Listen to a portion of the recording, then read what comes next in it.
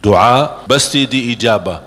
Walaupun proses melalui tiga hal. Yang pertama diijabah doa kita menolak takdir yang buruk.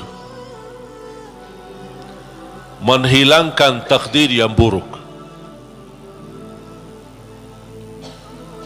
Contoh kita memohon ya Allah kasih aku jodoh tapi jodohnya belum datang. Ternyata dalam takdir karena kita sering berdoa meminta sesuatu Allah sudah ijabah tapi Allah memilih daripada memberi jodoh ada yang lebih daripada itu. Apa? Ternyata ada takdir yang jauh lebih buruk daripada jodoh yang kita minta. Makanya Allah geserkan takdir buruk itu karena doa kita. Turunnya bala. Turun bala dari dari langit. Bala turun dari langit. Doa naik dari bumi dari kita. Pas di udara bertemu. Bala sama doa berantem. Perkelahi antara doa sama bala. Yang kalah siapa? Bala dan doa naik. Artinya bala tidak jadi turun. Itu saking kuatnya dan berkahnya doa kita. Berarti doa pasti diijabah. Proses pertama doa yang kita minta Allah belum ijabah secara langsung sesuai permintaan tapi Allah menolak sebuah bala yang kita tidak tahu. Misal, tertulis dalam takdir kita hari ini akan kena kecelakaan motor. Tapi ternyata doa kita, kita tidak pernah bilang, Ya Allah selamatkan saya dari kecelakaan motor misalnya. Kita dah berdoa seperti itu. Tapi karena Allah melihat dalam takdir ada bala yang akan turun hari ini, tapi karena kita suka berdoa, Allah memilih mana yang baik. Allah yang lebih tahu mana yang baik. Apakah ijabah sesuai permintaan atau Allah memberi penggantinya yang lebih baik. Ternyata penggantinya yang lebih baik Allah memilih tolak bala. Allah bisa saja kasih jodohnya tapi karena kecelakaan motor nanti merasa nyesal aduh baru sudah nikah atau ketemu jodohnya malah dirawat di rumah sakit. Kesal nggak? Merasa aduh gimana gitu? Makanya percaya jamaah sekalian pilihan Allah itulah yang terbaik. Ada orang minta sama saya boleh enggak saya berdoa? Saya suka sama seorang misal. Saya jatuh cinta sama dia boleh enggak saya berdoa? Ya Allah aku minta dia si fulana itu si ini boleh enggak saya berdoa seperti itu? Saya bil saya jawab apa? Kira-kira jawab apa? Boleh boleh saja tapi saya usulkan sarahkan aja kepada Allah. Dan apa? Ya Allah kalau memang dia baik bagi saya mudahkan kalau tidak baik ganti yang lebih baik. Tapi gimana aku jatuh cinta sama dia? Nah, itu beda urusan. Yang kedua diijabah doa kita dan diberi oleh Allah Subhanahu wa taala sesuai permintaan. Apakah saat ini atau besok atau bisa lama? Tapi kita percaya pilihan Allah itulah yang terbaik. Yang ketiga doa yang kita minta atau yang kita selama ini bermunajat ternyata bala masih terus menimpa kita. Musibah kita terus ketemu. Selesai satu masalah tambah lagi masalah. Kemudian permintaan yang kita minta juga belum belum ketemu Saya minta kerjaan yang bagus, belum ketemu. Saya sudah berusaha melamar kerja sana sini, belum ada. Terus mana doa aku selama ini? Mana? Ternyata yang ketiga, contoh ni yang di ketiga. Yang ketiga apa? Allah simpan doa kita buat di akhirat. Berarti, tak ada yang hilang di sisi Allah. Kalau tidak tertolak bala, tidak diijabah sesuai permintaan, berarti yakini, oh disimpan di akhirat. Sahabat dan orang salih lebih suka doanya selama di dunia disimpan buat akhirat karena di akhirat bakal lebih butuh bantuan dan pertolongan Allah dan berkat doa kita. Faham? Walaupun sifat manusia ingin melihat secara langsung. Minta Ya Allah minta rumah, ada rumah. Minta ini, ada ini. Mohon maaf Bapa Ibu. Kalau Allah ijabah atau berikan sesuai, sesuai permintaan kita Nanti kita berhenti berdoa. Apapun yang kita minta Ya Allah aku minta mobil Dapat mobil. Minta kerjaan Dapat kerjaan. Minta jodoh Dapat jodoh. Minta rumah Dapat rumah. Mau haji Dapat haji. Terus segala yang kita minta dapat habis. Dah ada mak dah ada minta lagi. Terus berdoa enggak? Dah ada berdoa. Tapi kalau Allah belum kasih kita doa lagi enggak? Doa. Minta lagi. Cuba kata Umar bin Khattab ketika anda berdoa jadi seperti anak kecil Anak kecil kalau dia minta sama ibunya gimana? Nangis nggak? Berhenti nangis sebelum dikasih? Belum kan? Dia nangis sampai di begitu dikasih gimana? Berhenti nggak nangisnya? Anda harus seperti itu. Doa nangis.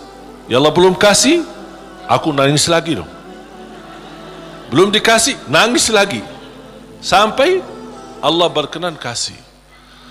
Dan ini sebenarnya bukan tujuannya Allah kasih atau tidak tapi ingat titisan air mata ini yang menangis karena Allah akan selamatmu selamatkanmu dari siksa neraka jahanam Rasulullah SAW bersabda wa ainun bakat min khasyatillah harramaha Allah ala nar la tamassaha nar Barang siapa yang menangis karena Allah akan Allah haramkan jasadnya disuntuh oleh neraka jahannam.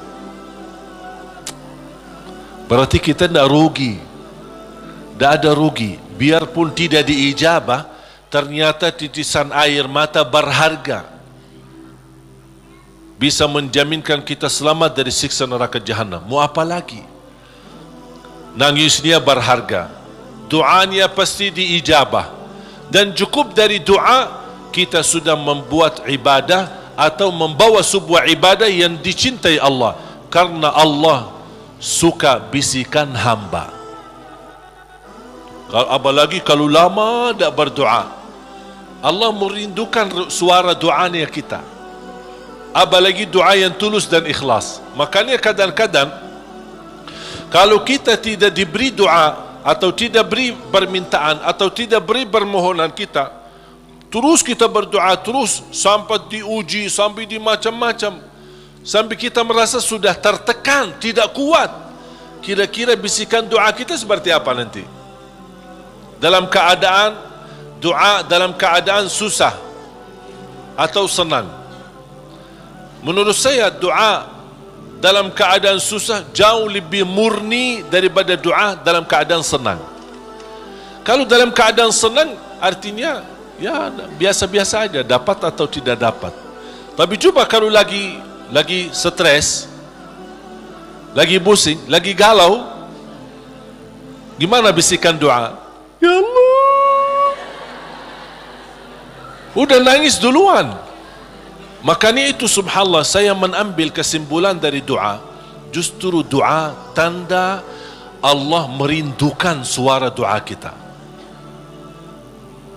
Oleh kerana itu jamaah sekalian jangan berhenti berdoa. Terus berdoa.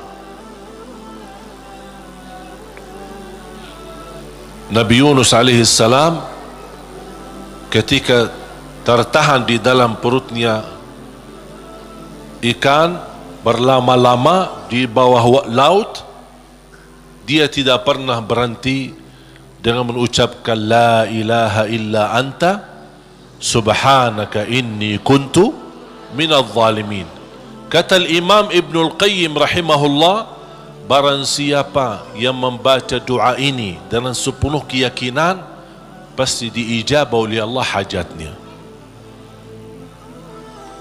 Karena Allah habis doa ini apa kata Allah? Fastajabna lah kami terima dan menijabah doanya. La ilaha illa anta subhanaka inni kuntu minadh zalim. Oleh kerana itu kembali lagi doa kita diijabah atau tidak? Saya bertanya, doa kita diijabah atau tidak? Diijabah, yakin? Terus berdoa. Dalam keadaan apapun selalu kita berdoa. Apalagi dalam keadaan susah yang kita yakini tidak ada makhluk yang bisa menolong kita, tidak ada sesuatu yang bisa menangkat segala musibah dan bala yang kita hadapi hanya Allah Subhanahu wa taala. Apalagi dalam sujud? Sempatkan dalam sujud kerana Rasulullah SAW bersabda aqrabu ma yakunu al-abdu ila rabbi wa huwa sajid. Hamba ketika dalam keadaan sujud posisinya sangat dekat kepada Allah. Makanya di akhir hadis Rasulullah SAW bersabda fa'akthiru minad du'a barbanyalah du'a. Bisa menikmati doa insyaAllah mulai hari ini doa menurut saya sesuatu hubungan yang sangat indah sama Allah. Apalagi kalau bisa berdoa dengan cara curhat. Bisa enggak curhat sama Allah? Kalau lagi galau suka curhat enggak sering saya terima Ustaz boleh curhat enggak Terus saya bilang apa ya? Boleh atau tidak? Saya bertanya, sudah curhat sama Allah belum? Dia bilang belum. Mau sama Ustaz dulu katanya. Ada saja. Belajar bagaimana bisa curhat. Sungguh kalau kita sudah biasa curhat sama Allah, tidak bakal curhat sama manusia. Jadi ketika berdoa, jangan hanya minta, Ya Allah tolonglah Tolonglah ya Allah Ampunilah Jangan hanya suka minta. Cerita. Bisa enggak anda cerita Allah kan lebih tahu. Allah tahu segala sesuatu. Tapi salah salah apa kalau saya cerita? Apa yang terjadi hari ini? Ya Allah Aku sudah niat baik Niat tulus. Dan saya pergi ke sana malah di, seperti ini dicaci maki dihina malah dianggap dan suuzan apa buruk sangka. Habis gimana ya Allah? Cerita. Curhat. Seperti meminta solusi dari Allah Subhanahu wa taala. Kalau belum merasa ada jalan wallahi akan merasa nikmat. Cukup anda bisa nikmat bersama Allah Subhanahu wa taala. Sebagaimana Nabi Yaqub ketika kehilangan anaknya ada dia berkata apa?